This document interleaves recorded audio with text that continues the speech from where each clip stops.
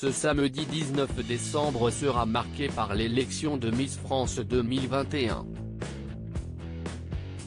Le centenaire se tiendra au Puy du Fou en Vendée. Durant cette cérémonie, les 29 prétendantes à la couronne défileront sous les yeux des téléspectateurs et l'une d'entre elles succédera à Clémence Bottineau, la Miss France 2020. La grande gagnante recevra de nombreux cadeaux et touchera également un salaire dont le montant est élevé.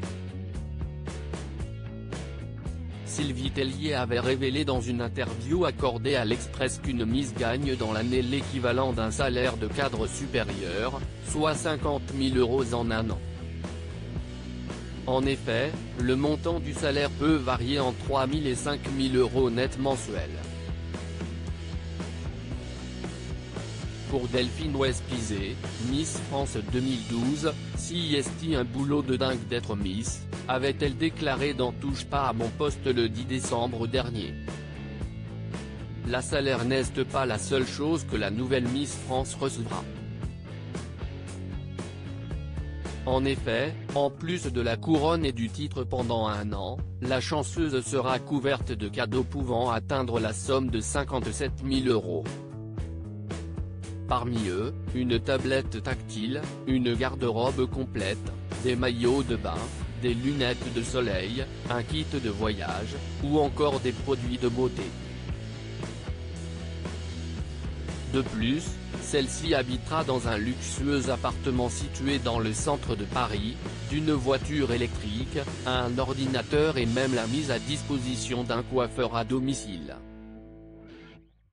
Delphine Westpizé avait également révélé dans Touche pas à mon poste que la gagnante remporte un voyage avec son accompagnant.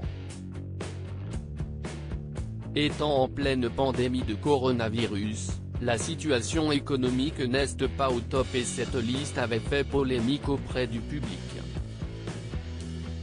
On a tout changé mais on s'adapte crise sanitaire oblige, l'élection Miss France 2021 doit se passer sous certaines conditions.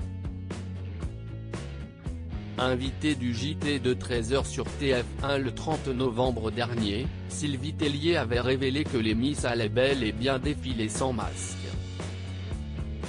Le 19, elles seront démasquées, en direct, puisque si est un concours de beauté, avait-elle expliqué avant de préciser que tout avait été testé et font partie d'une bulle Covid.